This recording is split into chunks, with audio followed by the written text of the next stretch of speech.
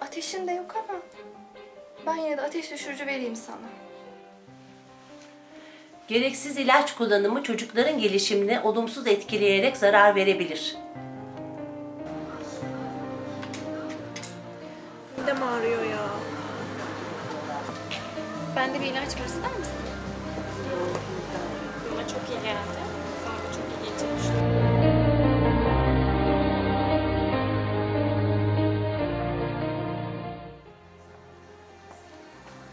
Unutmayın, sağlığınızla ilgili önerileri yalnızca doktorlar verebilir.